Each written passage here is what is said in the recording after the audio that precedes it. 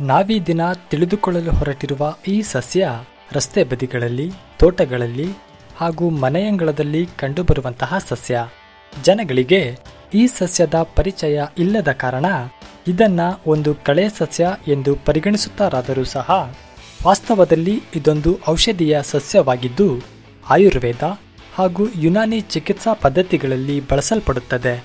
ಈ ಸಸ್ಯದ ಹೆಸರು ಸಹದೇವಿ.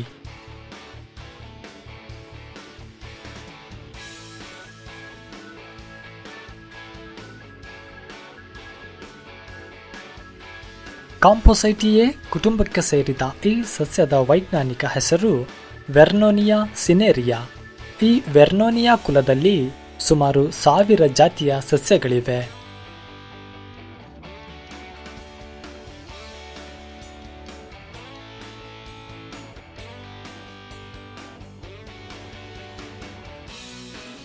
ಕನ್ನಡದಲ್ಲಿ ಸಹದೇವಿ, ಒಕರ್ಚಂಡಿ ಎಂದು ಕರೆಯುವ ಈ ಸಸ್ಯವನ್ನ ಸಂಸ್ಕೃತದಲ್ಲಿ ಸಹದೇವಿ ಗಂಧಾವಲಿ ಗೋವಂದಾನಿ, ಉತ್ತಮ್ ಕನ್ಯಕ, ಕೇಸರಿಕ, ದೇವಸಹ ಮುಂತಾದ ಹೆಸರುಗಳಿಂದ ಕರೆದರೆ ಆಂಗ್ಲ ಭಾಷೆಯಲ್ಲಿ ash coloured fleabane, purple fleabane, little ironweed ಎಂದೆಲ್ಲ ಕರೆಯುತ್ತಾರೆ.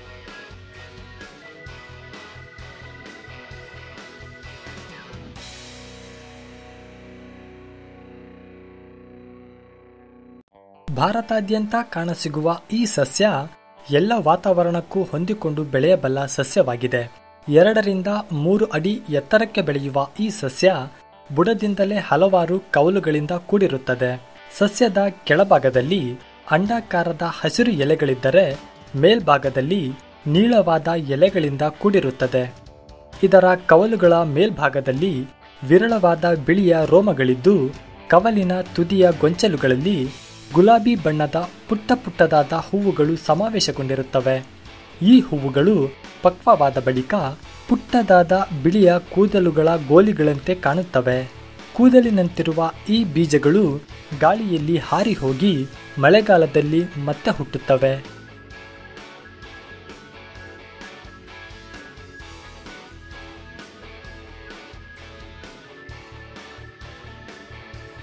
ಆಯುರ್ವೇದ ಹಾಗೂ ಯುನಾನಿ ಚಿಕಿತ್ಸಾ ಪದ್ಧತಿಗಳಲ್ಲಿ ಬಳಸಲ್ಪಡುವ ಈ ಸಸ್ಯವನ್ನ ಹಲವಾರು ರೀತಿಯಲ್ಲಿ ಔಷಧಿಯಾಗಿ ಬಳಸಲಾಗುತ್ತದೆ.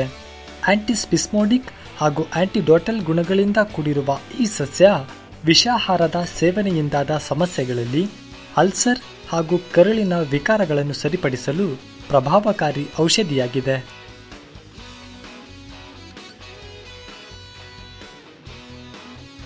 ಈ ಸಹದೇವಿ ಗಿಡದ ಎಲೆಗಳು, ಬೇರು, ಬೀಜಗಳು ಸೇರಿದಂತೆ ಸಂಪೂರ್ಣ ಸಸ್ಯವನ್ನು ಸಹ ಔಷಧಿಯಾಗಿ ಬಳಸಲಾಗುತ್ತದೆ.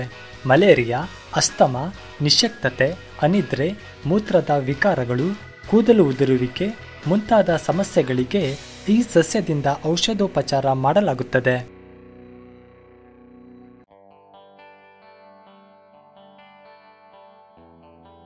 ಈ ಸಸ್ಯದ ಸಾಮಾನ್ಯ ಬಳಕೆ ಎಂದರೆ ಸಹದೇವಿ ಗಿಡವನ್ನ ಬೇರು ಸಹಿತವಾಗಿ ಕಿತ್ತು ನೆರಳಲ್ಲಿ ಒಣಗಿಸಿ ಪುಡಿ ಮಾಡಿಕೊಂಡು ಅದಕ್ಕೆ ಸ್ವಲ್ಪ ಕರಿಮೆಣಸಿನ ಪುಡಿ ಸೇರಿಸಿ ಕಷಾಯ ಮಾಡಿಕೊಂಡು ಕುಡಿಯುವುದರಿಂದ ಭಯಂಕರ ಜ್ವರವನ್ನು ಸಹ ವಾಸಿ ಮಾಡಬಹುದಾಗಿದೆ.